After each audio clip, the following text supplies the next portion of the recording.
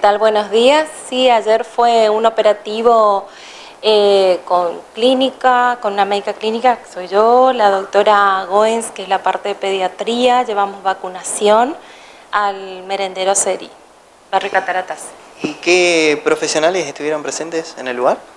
Y estuvieron, eh, ¿qué tal? Buenos días. Como comentó la doctora, hubo médico clínico, eh, una doctora que hace la parte de pediatría, y bueno, se compartió también una charla que dio la doctora sobre lactancia. Y bueno, este, este es un programa que lo venimos haciendo ya desde el año pasado y ahora continuamos en, los distintos barrios.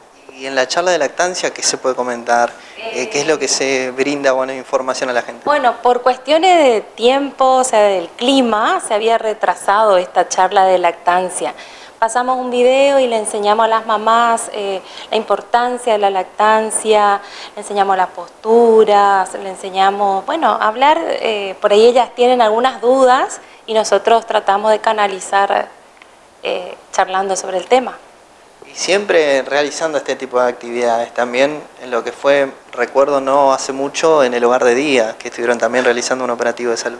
Claro, en el hogar de día estuvimos el mes pasado, donde se hizo un operativo integral también, bueno, en ese momento contamos también con pediatra, con clínicos, estuvo también el doctor Liera en, la parte de, visual, digamos. Eh, también la odontóloga, se le dio charla a los chicos, en ese momento se le entregó también cepillos de dientes, dentífrico, así que eh, sí, muy lindo todo y bueno, es la continuación de los programas que se vienen haciendo. Este aporte, bueno, ¿continuarán trabajando en relación a esto, a diferentes operativos para el mes, lo que resta del mes de agosto? Sí, sí, eh, vamos a seguir haciendo durante agosto, el mes de septiembre, octubre, en realidad es todo el tiempo. Nosotros tratamos de ir hacia los barrios, nos parece importante la prevención.